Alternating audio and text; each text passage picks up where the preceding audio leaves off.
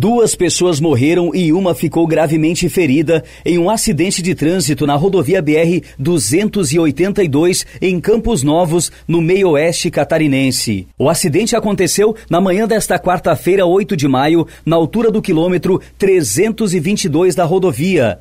No local, ocorreu uma violenta colisão frontal entre um caminhão Ford Cargo com placas de Itajaí, Santa Catarina, e uma carreta Scania com placas de Fraiburgo, também Santa Catarina. Conforme a Polícia Rodoviária Federal, as vítimas são o motorista e o passageiro da carreta Scania. O condutor tinha 50 anos e o caroneiro 40 anos. O caminhão Ford Cargo era conduzido por um homem de 41 anos. O caminhoneiro sofreu ferimentos gravíssimos e foi levado ao hospital.